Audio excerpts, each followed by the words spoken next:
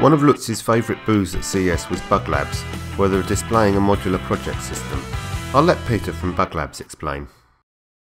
The, uh, our, the platform consists of two main components. One is the Bug Base. The Bug Base is a Linux computer, 128 megabytes of RAM.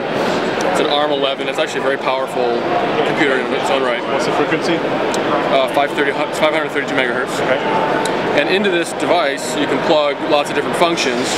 Um, clearly, we think there's a huge demand for location-based applications, so GPS was one of the things that everyone was requesting.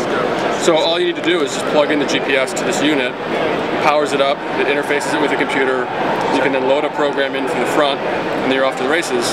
That's all you want. Now, clearly, a GPS that has no display has a limited value, so if you want to display, then you just plug in the LCD screen. So now it's a full color touchscreen LCD.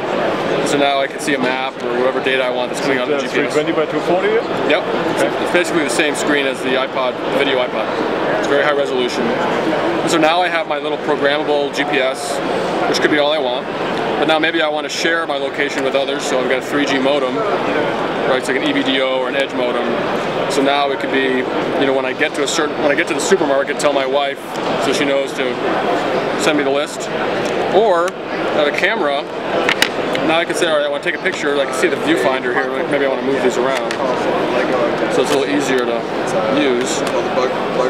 So it'll take a picture like this, Right. and it'll geotag it and, And post it to my send it off. Flickr account. Exactly. Right, and then, so when I'm done with using my device, I just take it apart and I can put something else together. Let's say I want to have a, a situation where I want to tag my location if if I do a, this has got an accelerometer in it. And let's say I want to tag my location when I do this, oh, Or when you stop moving or stop moving. or you know, Right. or detect motion. Or, I mean, the, the, the lists are endless, really. I mean, you can, there's, we're launching with four modules, but we have 81 total. Technically, you could also use the accelerometer to help the GPS if you lose the GPS signal. And You could do dead reckoning. There's a digital compass as well, so you could, like, if you lose signal, you can sort of keep track of where you are. Absolutely. You could also do um, a little bit of GPS backing up with uh, 3G modem because you can do tower triangulation.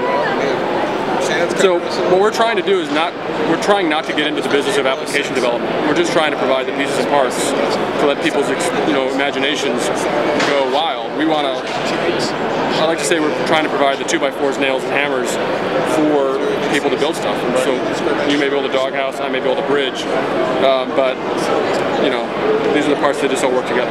so would you then also like accept suggestions for new modules like a, uh, a card reader or something? like? Absolutely. Well, in fact, everything we're doing is open source, which means all the designs for the hardware is open source. So you can go to the website, you can download the specs for our GPS. Can you buy the, the empty shell and Yeah. connect and do Yeah. your own stuff? There's something called the Von Hippel module, which we've also announced, Right. which is just that. It's an empty shell. And you can put your own chips in there, you have to own your own piece of plastic. Um, and we're also going to have on our website sort of a, uh, uh, it's not an auction, but it's a way for people to come and vote and nominate module types. So I, let's say I go and I say, look, I think a radar detector would make a great module, Right. and it's not on our list. Then the, the community can come and say, look, I You really can figure out how many, how much requests yeah, there for that. and then we say, look, if we get if we can get hundred hard orders for this, like credit card numbers, we'll go and build it. And, right, so we'll, we want to be responsive in that way too. But because it's open source, if you don't see what you want, you just go build it, and you can build modules for not a lot of money.